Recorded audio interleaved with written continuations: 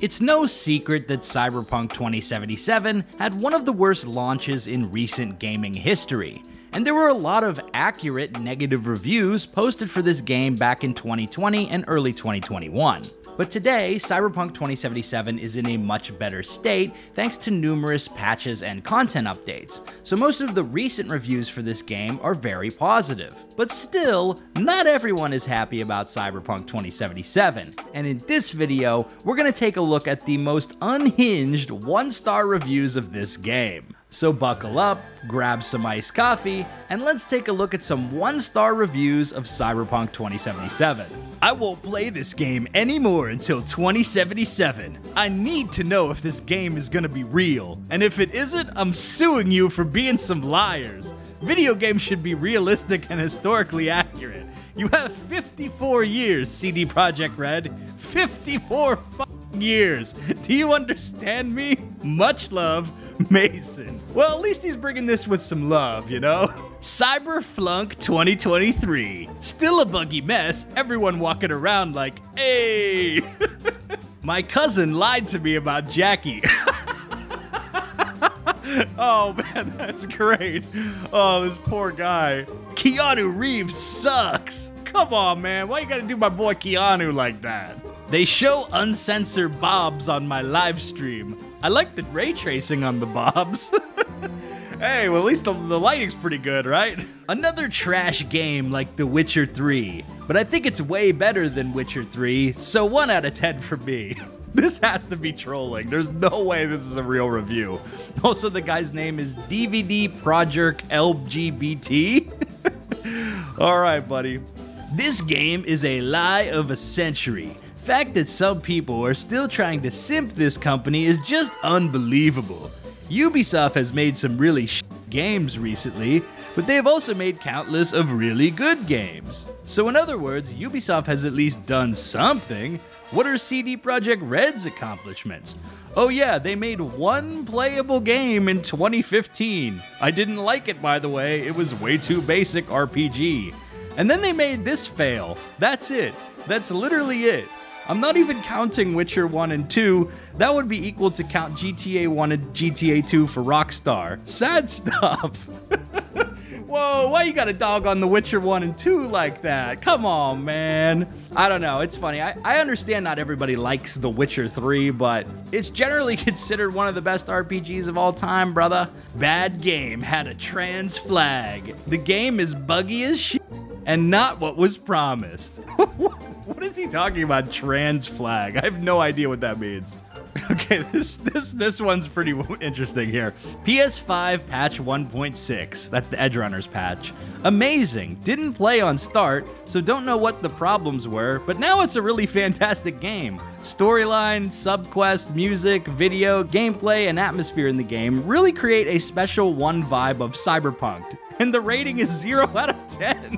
Did he just forget to put the rating on this review? Because it's so positive review. Still unimaginable garbage. If you think anything has changed, then you have been severely misled. It's funny to see these types of reviews too, because they don't actually outline any criticisms of specific things that aren't fixed or are still broken or anything like that. They're just like, it's garbage. It's total garbage. The game is garbage, bugged, like the developers themselves at CD Projekt Red. Thank you, Reds, for cleaning the store from garbage. I won't buy games, and I will not. I'm not going to support them at all. They made it clear what they think about the Russians and Russia. Thank you, Pole fascist company. Games your Dude.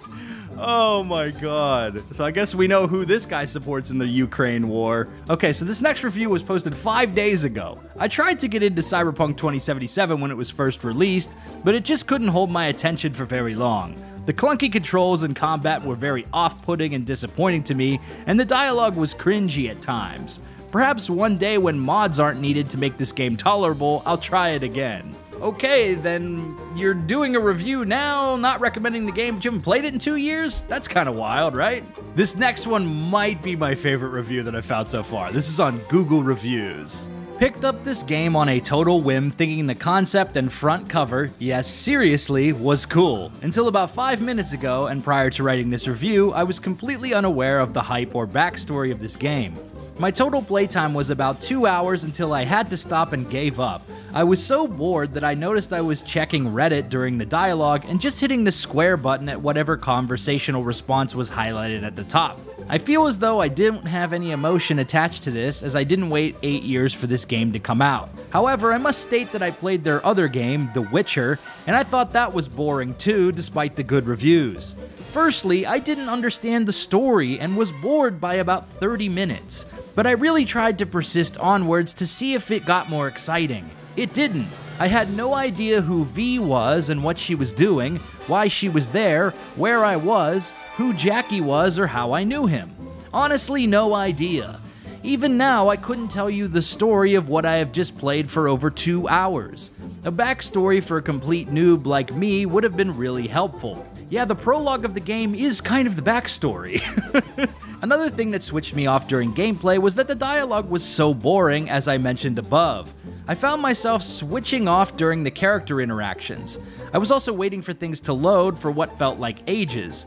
Having completed the Spider Man series and maxing them both out to 100% completion before playing this game, it really was an absolute snooze fest and a serious mistake to play this afterwards. Well, if you're not paying attention to any of the dialogue, then it makes sense that you don't know what's going on. It's like, man, this story's so boring. I can't even follow the dialogue. I'm not even paying attention. Man, what the hell is going on in this story? I have no idea. it's just so funny to me, man. If you buy toilet paper on Amazon, you will have approximately 96 rolls of toilet paper for the price of this game. I bought a digital copy, so I can't even wipe once. have you ever went to the theater with someone to see a movie and it turned out to be one of the worst movies you have ever seen? Or imagine taking your kids to a Chuck E. Cheese's, giving them a $1,000 in tokens, and then finding out you're in a state where Chuck E. Cheese's doesn't serve beer. You're screwed, that's what, because daddy, I still have tokens. He's definitely got a flair for analogies. I would not recommend purchasing this game. Frustration and boredom for 60 bucks? Why can't I just play the effing game without being put through endless loops of the same scene? What the hell is this? so I don't know if this guy had to reload saves or something, but that's pretty funny. So there you have it, taking a look at some one-star reviews of Cyberpunk 2077 in 2023. It's not that Cyberpunk 2077 is, should be immune from criticism or anything like that. I do think that the game has some flaws that are worth criticizing in reviews, but I also don't think the game is a 1 out of 10 or 1 star or anything like that. I think that's a little bit disingenuous. If you like this video, be sure to subscribe to Big Dan Gaming for more Cyberpunk and RPG videos. Big shout out to all the channel members for supporting my content. Until next time, this has been Big Dan. I should go.